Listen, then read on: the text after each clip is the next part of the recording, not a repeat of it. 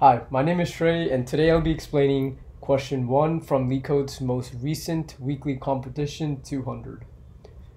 Question 1 is count good triplets, and what dictates a good triplet is if the indexes i are less than j, which is less than k, um, all being between the end and beginning of the array, and also if the array at i minus j is less than or equal to a, the array at j minus k is less than or equal to b, and the array at i minus k is less than or equal to c. And you take the absolute value of that. So the question gives you an input array, the values of a, b, and c, and it wants you to return an int value. So let's just dive in straight into example one.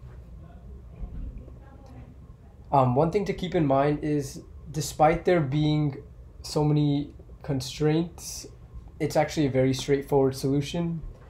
So you have um, three loops. I use three for loops, and you basically check each triplet possibility. So you basically brute force it and check all triplet possibilities, and you see if each triplet satisfies these three conditions. And if it does, then you increment count and you just return count at the end.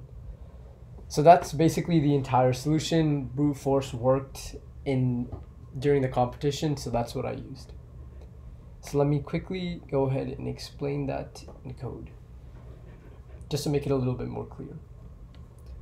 So the first thing you do is you declare a count um, value, declare count to zero, because that's what you'll be returning at the end.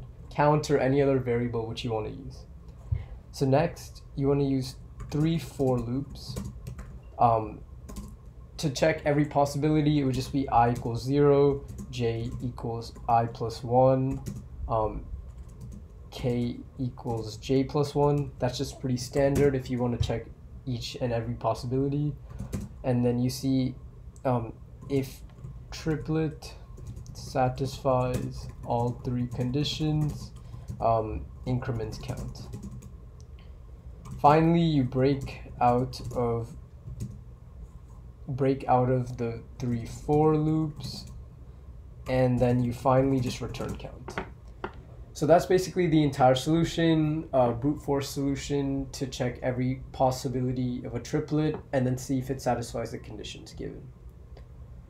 So yep, if this video helped you in any way, please remember to like and subscribe. If you have any questions, just leave them down in the comments below and I will leave a link to the code down below.